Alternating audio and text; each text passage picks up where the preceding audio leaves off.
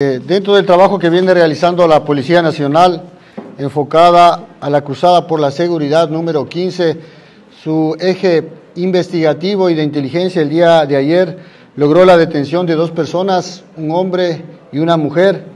El detenido responde a los nombres de guerra, Alarcón Nel Guillermo.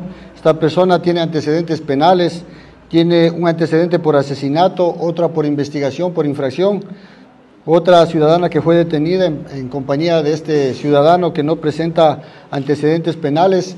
Lo particular de este eh, operativo es que se logró la detención de estas personas a quien en posesión se les encontró dos fusiles de última generación, armas largas, calibre 2.23, cuatro pistolas automáticas, 180 cartuchos de diferentes calibres de entre 2.23 y 9 milímetros, nueve alimentadoras, se encontró una cantidad de dinero importante de 25.042 dólares y cuatro terminales móviles.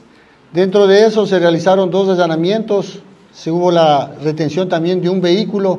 El operativo que se realizó ayer en, en, la madrugada nos permitió ubicar este domicilio en modelo y de acuerdo a las investigaciones se estarían llevando este armamento hacia el distrito Durán. Con esto nosotros seguimos demostrando el profesionalismo de la policía a través de resultado y dando la contención importante a los diferentes eventos violentos que se realizan aquí en la ciudad de Guayaquil.